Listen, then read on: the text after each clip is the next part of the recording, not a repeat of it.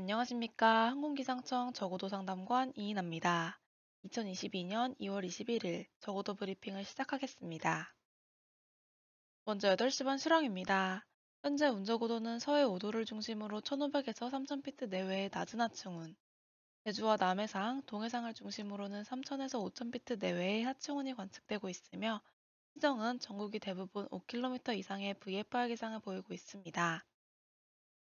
바람은 전해상 및 제주를 중심으로 15에서 25나트 내외로 다소 강하게 부는 곳이 있고 레이더 영상상 서해 5도에는 시간당 1에서 2mm, 서해 남부 해상과 동해 먼바다에는 시간당 1mm 미만의 강수 에코가 관측되고 있습니다.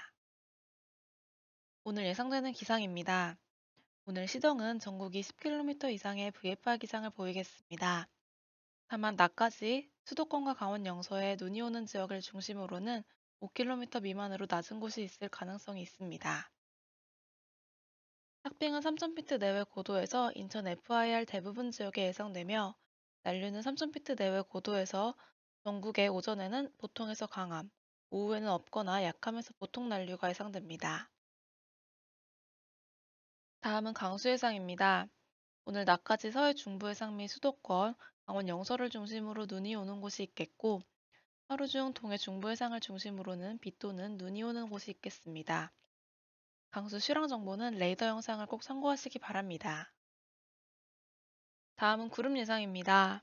오늘 낮까지 서해 중부 해상 및 수도권과 강원, 하루 중 제주 및 전라권, 남해상, 서해 남부 해상을 중심으로 3,000에서 5,000피트 대외의 하층온이 예상되니 유의하시기 바랍니다.